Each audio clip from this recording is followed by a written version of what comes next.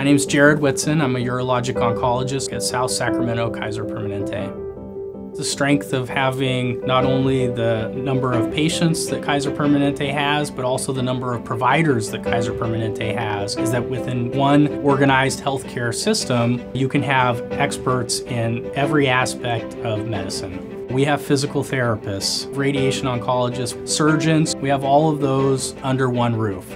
We don't have the pressures in Kaiser Permanente of sometimes making decisions based on financial implications. We make decisions based on what's best for the patient. I was a resident at University of California, San Francisco, and then I stayed on to do a fellowship in robotic assisted laparoscopic and traditional open surgery. Laparoscopic surgery is unique because the incisions are much smaller, pain is much less in general. Recovery time is usually two to three weeks shorter.